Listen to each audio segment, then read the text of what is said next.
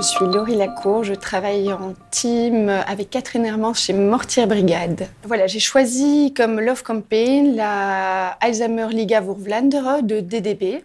Pourquoi j'ai choisi cette campagne? À la fois assez simple, mais je trouve surtout que le sujet est très adapté aux médias qu'ils ont choisis, à savoir l'audio et la radio.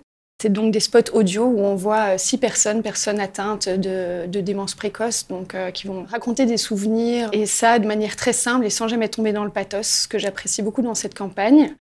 Je pense que dans un monde où on nous rappelle toujours plein de choses inutiles, c'est un très bon média pour euh, justement passer ce message sur la démence précoce.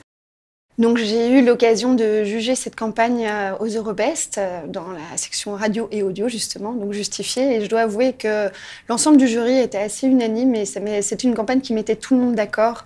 Donc au-delà d'être une campagne belgo-belge, je pense que c'est une campagne qui a une résonance aussi euh, à l'international et ça c'est aussi un plus pour moi.